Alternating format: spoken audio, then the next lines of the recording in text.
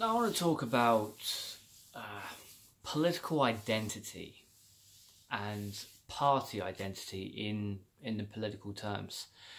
Now, this is um, because a, a, story came out, a, a paper was written a little while ago in the US about the very same the very same topic, and it highlighted how toxic a mentality that can be the simple fact that you currently identify as insert blank doesn't mean that you have to forever.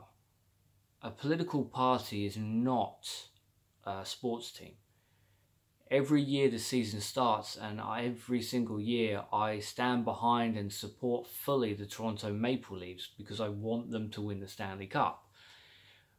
But the Maple Leafs aren't running a government and they're not setting policies.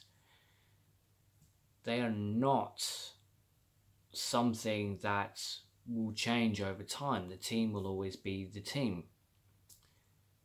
The same can't be said for the Conservatives or for Labour or for Green or for the Lib Dems.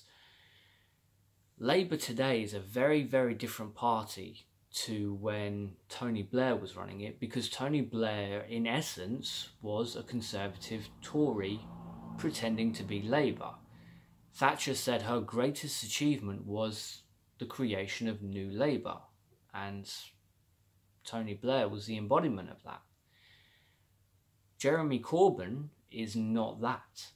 When I say I stand behind Labour, it's because I stand behind Jeremy Corbyn, because I've looked at his political history, what he said he wants to do, and how he will do it is very reasonable and will actually do a lot of good for the country. Now, Theresa May, on the other hand, when she first came into office, what she was saying was really good what she promised to to give the country and to do for the country was fantastic. And if she had kept with that then I would stand behind the conservatives. But her political history made me incredibly skeptical because she's typically not been what she promised to give us. And what it turns out she actually did was go the opposite way. We now have a government full of deplorable people, people like Esther McVey who claim 170 million pounds on expenses and yet tells the rest of the country that we need to live inside our means and there's nothing wrong with going to food banks because well we should live within our fucking means. Clearly very hypocritical if she's taken 170 million pounds back from the taxpayer Whereas other Conservative members are saying that if you're unemployed, you should be sterilised. Others making obscenely racist jokes about immigrants being able to claim benefits but not the English white people. That's the party as it stands right now. But that's not the party as it might stand in 10, 20 years. So the simple fact that right now the Conservative Party is disgusting on every single level doesn't mean that in 10, 20 years I wouldn't necessarily vote for them because it's not a sports team. It's not a tournament. It's it's not even a type of film genre or Marvel versus DC by the way. Uh, I think we know where I stand on that as well. But politics is something that changes and evolves. The Republican Party uh, was the party of Lincoln who freed the slaves.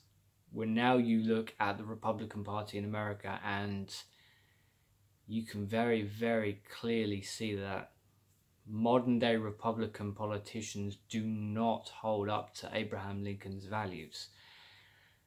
Politics changes. We have to be open, we have to be ready to accept those changes, to move on with those changes, and to change with it. It's not saying that we shouldn't hold politicians accountable for what they said, but simply voting for Conservatives or for Labour or for Lib Dem or for Greens because you've always done it really is well it's silly because you're not ensuring that your vote counts. You're simply saying that you don't care what that particular party does because that's your party. The ramifications of that are quite severe. So we're seeing that people who always voted for conservatives voted for conservatives and our education is crumbling, our NHS is crumbling, everything that was public is being sold off privately, and well, we could get dragged into a couple more wars now. Just be open to change.